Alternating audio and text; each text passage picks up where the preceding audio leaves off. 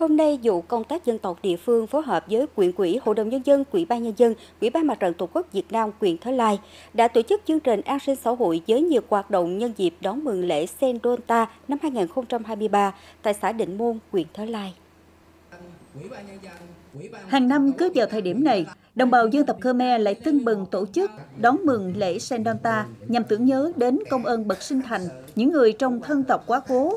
Năm 2023 này, vụ công tác dân tộc địa phương phối hợp với huyện ủy, Hội đồng Nhân dân, Ủy ban Nhân dân, Ủy ban Mặt trận Tổ quốc Việt Nam huyện Thái Lai đã tổ chức chương trình an sinh xã hội với nhiều hoạt động chăm lo cho bà con đồng bào dân tộc Khmer tại xã Định Môn.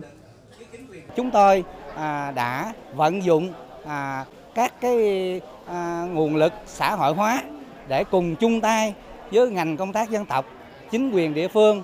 à, huyện Thới Lai, thành phố Cần Thơ tổ chức một chương trình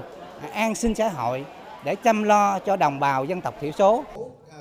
Trong khuôn khổ các hoạt động mừng lễ Sanonta năm 2023 này, đoàn đã long trọng tổ chức thăm hỏi, trao tặng quà cho các vị trụ trì ở năm chùa Phật giáo Nam Tông Khmer và các vị trong hội đoàn kết sư sãi yêu nước thành phố Cần Thơ trên địa bàn huyện Thái Lai. 200 xuất quà trao tay cho các em học sinh nghèo có hoàn cảnh khó khăn, vượt khó học giỏi để động viên, khuyến khích tinh thần học tập.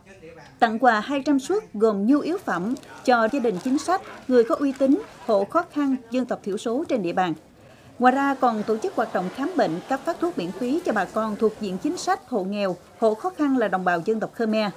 Tuy hoạt động quy mô không lớn, nhưng với sự quan tâm chăm lo này đã tạo sự an tâm phấn khởi và tạo sinh khí cho những ngày đón mừng lễ Sandonta năm 2023 này.